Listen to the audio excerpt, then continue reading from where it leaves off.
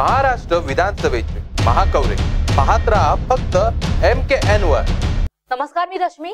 M के च्या आढावा विधानसभेचा या विशेष कार्यक्रमात आपल्या सगळ्यांचं स्वागत.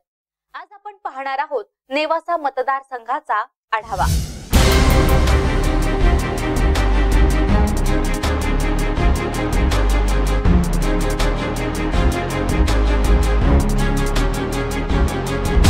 अतिशय भ्रष्ट कारभार या रस्त्याच्या बाबतीत झालेला आहे. या पाच वर्षामध्ये शेतकऱ्याकडे साफ दुर्लक्ष केलं गेले आणि भविष्यामध्ये नेवासा हे ऐतिहासिक एक धार्मिक एक मोठं तीर्थक्षेत्र म्हणून वैभव प्राप्त व्हावं हीच आमची संकल्पना आहे.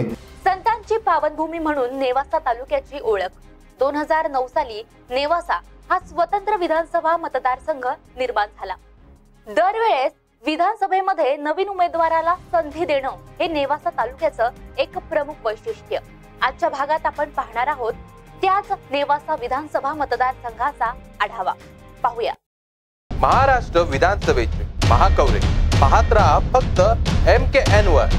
श्री क्षेत्र ज्ञानेश्वर मंदिर देवगड शनी शिंगणापूर अशी देवस्थानं असणारा नेवासा तालुका. दोन साखर कारखाने शिक्षण संस्था कांदा मार्केट असलेला नेवासा. प्रवरा नदी आणि गोदावरी नदी यांचा सुरेख संगम याच नेवासा तालुक्यामध्ये झाला. राजकीय दृष्ट्या अतिसंवेदनशील समजल्या जाणाऱ्या नेवासा विधानसभा मतदारसंघात अटीतटीचा सामना यावेळी बघायला मिळणार आहे. दोन आजी माजी आमदार यांच्या कलगीतुऱ्यामुळे नेवासा तालुक्यातील मतदारांचे चांगलेच मनोरंजन होताना दिसते. आजी माजी आमदार सध्या विकास कामावर न बोलता वैयक्तिक टीका करताना दिसत आहेत या सगळ्यामध्ये मात्र नेवासाचा विकास काहीसा थांबलेला दिसून येतोय.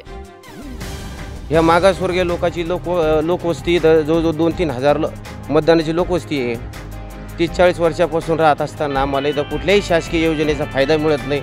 इथं रस्ते नाही. इथं सार्वजनिक स्वच्छालयाची व्यवस्था नाही आहे. दरवर्षी फक्त आमच्याकडे मतदान मागायला येतात आणि मतदान करायचंच कसं कसं आहे? जर आमच्या इथं आमची पूर्ण दलित वस्ती कमीच कमी आमचे जवळ जवळजवळ तीन एक हजार लोक इथं मतदार आहेत. आणि स्पेशल वार्ड आहे आमचा. वार्ड क्रमांक चार गट नंबर शहात्तरमध्ये तर आमचं पूर्ण सर्व इथं अठरा पगड जाती जमातीचे लोक आमची. तरी आमची या लोकांची कोणी दखल घेत नाही. तर आमचं असं म्हणणं आहे मोदी सरकारनं सांगितलं की जे राहत असेल तिथं त्याचं घर द्यावा. रोडवर असेल तरी त्याला घर द्यावा. तिथं लाइट द्यावा. गा लहान गाव असुशिक्षित आहे सगळे गटार नाले रस्ते नाही लेकरांना जायची सोय नाही मॅडमला जायची सोय नाही. त्याच्या पण त्याच्यामुळे इथं सुविधा झाली पाहिजे अशी आमची इच्छा आहे.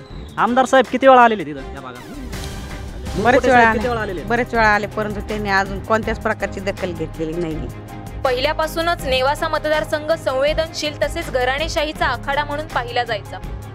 पण मागील पाच वर्षापासून आमदार मुरकुटे यांच्या रूपानं सर्वसामान्य नेता या मतदारसंघानं निवडून दिला.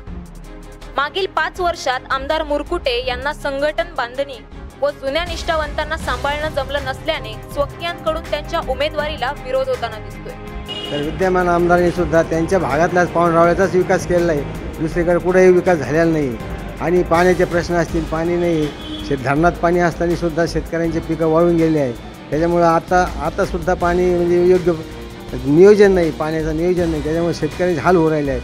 पाणी असून सुद्धा धरणात पाणी असून सुद्धा आज रोजी नेवास तालुक्यातले सगळे पीक पिके हे वायाला गेले आहेत. अशा प्रकारे जे काम करायला पाहिजे ते आमदार करू शकले नाही. त्याच्यामुळे शेतकऱ्यांचे खूप खूप मोठे नुकसान झाले. आजसुद्धा शेतकरी हा खूप मागं चाललेला आहे. शेतकऱ्यांनी जे खर्च झालेला आहे तोसुद्धा फेडू शकणार नाही. आज बाजरी सोयाबीन चांगली चांगली पिकं कपाशी वगैरे सगळे वायाला गेले आहेत. पन्नास टक्केसुद्धा त्याचं उत्पादन येणार नाही. अशी परिस्थिती झाली आहे. आणि शेतकरी अगदी रणकुटे फार मेटाकुटीला आलेला आहे.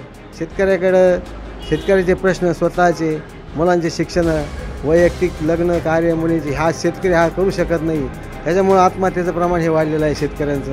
दादा आपण जे दोन हजार चौदा साली जो जाहीरनामा दिला होता त्या जाहीरनाम्यामध्ये आपण कुठले कुठले कामं केलेले आणि कुठले बाकी आहेत? विशेष करून जाहीरनामामध्ये रस्ते वीज पाणी आरोग्य शिक्षण या निमित्ताने आपण भर दिला होता आणि त्याप्रमाणे आपण ते कामं मार्गी लावलेली आहे एकंदरीत सध्याला प्रगतीपथावर कुठले कुठले विकास कामं बा- अजून चालू आहेत सध्या तर आपण मी सांगितल्याप्रमाणे राज्यमार्ग आणि जिल्हा मार्ग जेवढे तालुक्यामध्ये आहेत हे नव्वद टक्के हे पूर्ण झालेले आहेत. आणि राहिलेत वाड्या वस्त्यावरचे जे रस्ते आहेत ते देखील भविष्यकाळामध्ये आम्ही ते पूर्ण करणार आहोत. एकंदरीत तालुक्याची काय परिस्थिती असेल? आज विकासात्मक तालुक्यामध्ये जे या तालुक्याचं वेगळं असं मागील काळामध्ये तालुक्यामध्ये भीतीचं वातावरण होतं. दहशत होती. या निमित्ताने जातीय या निमित्ताने खूप काही द दंगे होऊन तालुक्याचं नाव खराब झालं होतं. या पाच वर्षामध्ये एकही प्रकार या ठिकाणी कधी पुढं झाला नाही आणि भविष्यात देखील होणार नाही. अशा पद्धतीचा सलोखा सर्व जाती धर्मातील बांधवांना एकत्र घेऊन विश्वास देऊन हे आपण माजी आमदार गडाख यांनी प्रथम भाजपा व सेनेकडून उमेदवाराची चाचपणी केली. मात्र कार्यकर्त्यांच्या आग्रहाखातर क्रांतिकारी शेतकरी पक्षाकडून निवडणूक लढवण्याची त्यांनी घोषणा केली. भाजपचे विद्यमान आमदार बाळासाहेब मुरकुटे क्रांतिकारी शेतकरी पक्षाचे माजी आमदार शंकरराव गडाख राष्ट्रवादीचे विठ्ठलराव लंगे वंचित बहुजन आघाडीकडून अशोकराव कोळेकर अशी एकंदरीत चौरंगी लढत यावेळी नेवासा तालुक्यामध्ये पाहायला मिळू शकते. नमस्कार आपण आलेलो आहोत नेवासा विधानसभा मतदारसंघामधील क्रांतिकारी शेतकरी पक्षाचे नेते आदरणीय शंकरराव गडाख पाटील. आपण त्यांच्याकडनं जाणून घेऊयात की नेवासा तालुक्यामध्ये पाच वर्षामध्ये कितीक विकास कामं झालेले आहेत किंवा कोणते कोणते विकास कामं झालेले नाही तिथं. नमस्कार सर एम केनमध्ये आपलं हार्दिक स्वागत. सर नेवासा तालुक्यामध्ये कितीक विकास कामं झालेली आहेत पाच वर्ष. नेवाशा तालुक्यामध्ये मागच्या पाच वर्षामध्ये जो दंडारा पिटवला जातो की नेवाशा तालुक्यामध्ये मोठ्या प्रमाणात कामं झालेली आहेत. परंतु या तालुक्याची खरी वस्तुस्थिती वेगळी आहे. जे घोषणा केल्या जातात की बाराशे कोटी पंधराशे कोटी अठराशे कोट रुपये माझं जाहीर आव्हान आहे लोकप्रतिनिधींना की तुम्ही कुठल्या खात्यातनं किती पैसे कुठल्या रस्त्यावरती कुठल्या निधीकरता तुम्ही आणलेत हे तुम्ही जाहीरपणे सांगितलं पाहिजे. फक्त फ्लेक्स बोर्डवरती आणि मुलाखती देऊन अठराशे कोटी रुपये आणल्याचा जो कांगावा केला जातोय तो सपशेल खोटा आहे.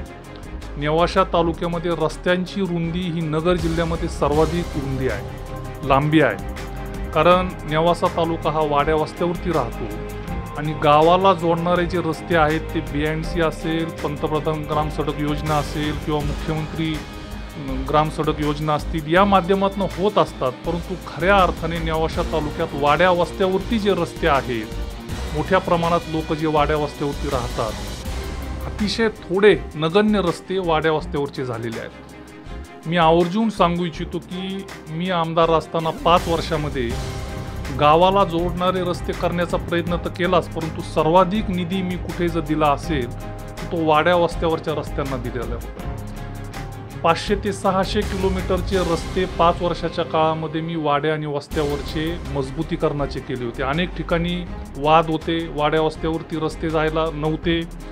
ते वाद मिटून ते रस्ते करण्याचा प्रयत्न केलेला आहे. तेव्हा हा जो दिंडराव पिटवला जातो हा सपशेल खोटा आहे. जे रस्ते झालेत त्या रस्त्यांची दुरावस्था आपण जर बघितली अजूनही मोठा पाऊस या तालुक्यात नाही. परंतु जर एक पाऊस मोठा जर झाला दोन महिन्यामध्ये काही रस्ते खराब झालेले आपल्याला दिसतील. ते होणार आहेत. अतिशय भ्रष्ट कारभार या रस्त्याच्या बाबतीत झालेला आहे. परंतु सगळ्यात महत्त्वाचा प्रश्न या तालुक्यातला जो शेतकरी आहे जो केंद्रबिंदू समजून या अगोदर या तालुक्यात काम केलं जायचं या पाच वर्षामध्ये शेतकऱ्याकडं साफ दुर्लक्ष केलं गेलेलं आहे. मागच्या काँग्रेस सरकारच्या काळामध्ये ज्यावेळेस कर्जमाफी झाली ती सरसकट कर्जमाफी झाली होती सत्तर हजार कोटी रुपये या संपूर्ण देशाच्या शेतकऱ्यांचे कर्ज माफ झाले होते. नगर जिल्ह्यामधले जिल्हा बँक आणि इतर बँकेच्या माध्यमातून जवळपास तीनशे साठ कोटी रुपयाचं कर्ज माफ झालं होतं. आणि या तीनशे साठपैकी सत्तर कोटी रुपयाचं कर्ज एकट्या नेवाशा तालुक्यातल्या शेतकऱ्यांचं माफ झालं होतं. सरसकट कर्ज माफ झालं होतं उतारा कोरा झाला होता. परंतु यावर्षी आपण जर बघितलं अतिशय अल्प कर्जमाफी ही झालेली आहे. अनेक शेतकरी या कर्जमाफीतनं वंचित आहेत परंतु त्यांच्याकडे लोकप्रतिनिधी अजिबात पाहत नाही हे तर सोडाच परंतु शासनाचा जो निधी शेतकऱ्यांकरता येतो विशेषतः पीक विमा असेल पीक विम्याच्या बाबतीत नेवाशा तालुक्यातला शेतकरी सर्वाधिक पीक विमा या नगर जिल्ह्यामध्ये भरतो. परंतु त्याला शंभर रुपये दीडशे रुपये असा पीक विमा शासनाकडनं दिला जातो. या बाबतीत लोकप्रतिनिधी आवाज उठवत नाहीत. आणि शेजारचे तालुके जर बघितले तर पीक विमा शेतकरी कमी भरतात परंतु कोट्यवधीचा पीक विमा हा शेजारच्या तालुक्याला मिळालेला आहे. मग तो राहता असेल संगमनेर असेल पाथर्डी शेवगाव असेल या तालुक्यातली परिस्थिती खूप भीषण शेतकऱ्यांच्या बाबतीत झालेली आहे. पाटपाणी असेल किंवा विजेचा प्रश्न असेल हे तर प्रश्न आहेतच. परंतु कृषी खात्याचा जो भ्रष्टाचार या तालुक्यामध्ये गेल्या पाच वर्षामध्ये झालेला आहे सध्याचे लोकप्रतिनिधी हे कृषी खात्याचे आत्माचे अध्यक्ष मागच्या पाच वर्षापूर्वी होते. त्यांनी त्यावेळेस अनेक गोष्टींचा अभ्यास केला योजनेचा आणि त्या फक्त कागदावरती राबवल्या आणि लोकांचे नावं फक्त घेऊन सह्या घेऊन खोट्या सह्या घेऊन अनेक आरोप झालेले आहेत. त्या आरोपाची चौकशी चालू आहे की नेमकं कुणाला या योजना मिळाल्या? लाभार्थी कोण आहेत? पाहुणे रावळे आहेत की बेनामी नावं आहेत याची चौकशी शासनाने करावी याकरता तालुक्यात मोठं आंदोलन झालेलं आहे. अजूनही झालेल्या चौकशीचा अहवाल बाहेर येत नाही तो दडवण्यात आलेला आहे. दुष्काळ निधी आलेला नाही. फक्त घोषणा झाली पंचावन्न कोटी रुपये दुष्काळ निधी परंतु तो दुष्काळ निधी आला नाही.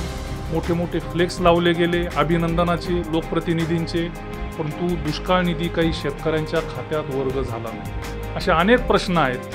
आणि म्हणून आता करो या मरोची परिस्थिती या नेवाशा तालुक्यातल्या शेतकऱ्यांची झालेली आहे.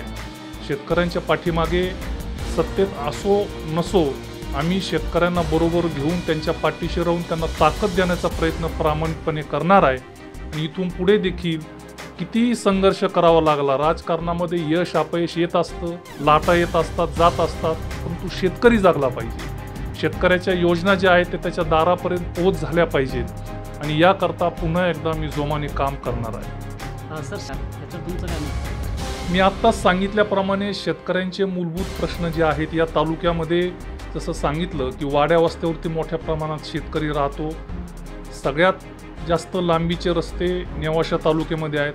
परंतु त्याचबरोबर शेतकऱ्याला फार काही लागतं असं नाही. ज्या शासनाच्या योजना असतात मग दुष्काळ निधी असेल किंवा पंतप्रधानांनी जी जाहीर केलेली आहे दोन हजार रुपये चार महिन्याला ते असतील विमा असेल हे तर मिळाले पाहिजेतच परंतु या तालुक्यातल्या शेतकऱ्यांना फक्त पाटपाणी वेळेवरती जर दिलं तर या तालुक्यातला शेतकरी हा मेहनती आहे.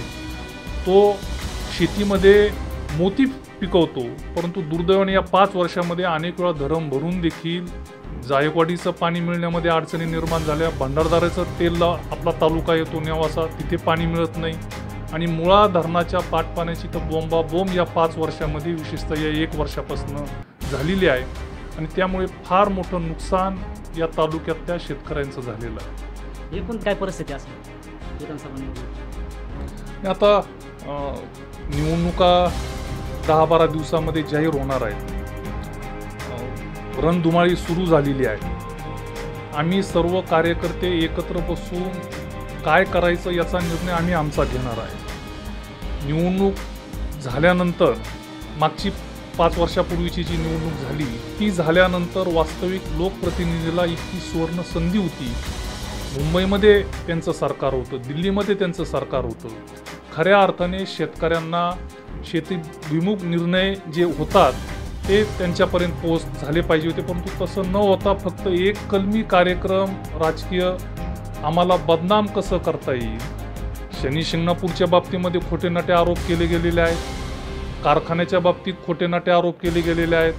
आणि एकूणच ज्या सहकारी संस्था आहेत ज्या आम्ही चालवतो शेतकऱ्यांकरता त्याविषयी अडचणी निर्माण कशा होतील? आणि बदनाम करण्याचं षडयंत्र या पाच वर्षामध्ये त्यांनी त्यांची राजकीय शक्ती फक्त या गोष्टीकरता खर्च घातलेली आहे. आम्ही एकत्र बसून काय करायचं पुढे भविष्यात हे ठरवणार आहोत परंतु एक मात्र या निमित्ताने मला सांगावंसं वाटतं की या तालुक्यातला शेतकरी या पाच वर्षात सगळ्या सोयऱ्याच्या राजकारणाला विटलेला आहे.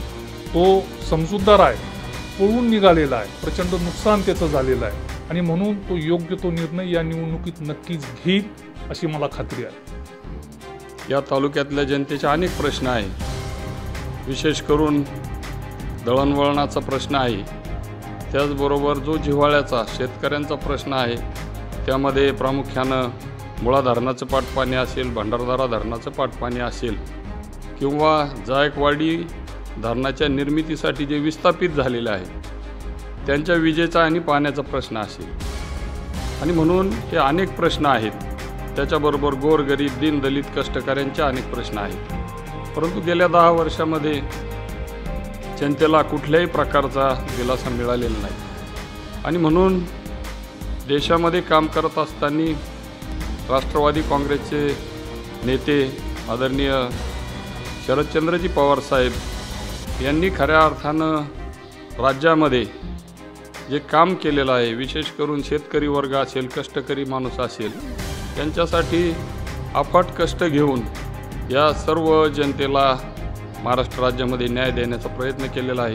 म्हणून भविष्य काळामध्ये मी एक पार्टीचा इच्छुक उमेदवार म्हणून भविष्य काळामध्ये जे जे प्रश्न आहेत पाटपाण्याचे प्रश्न आहेत मजुरांचे प्रश्न आहेत कष्टकऱ्यांचे प्रश्न आहेत दीनदलित बांधवांचे प्रश्न आहेत हे हातामध्ये घेऊन आदरणीय आपल्या जिल्ह्याचे माजी राष्ट्रवादी काँग्रेसचे अध्यक्ष मान्य चंद्रशेखर घुले पाटील साहेब आहेत नरेंद्र घुले पाटील साहेब मान्य अभंग साहेब आहेत या सर्व मंडळींच्या नेतृत्वाखाली एक चांगलं काम निश्चितपणानं भविष्य काळामध्ये आम्ही उभं करू.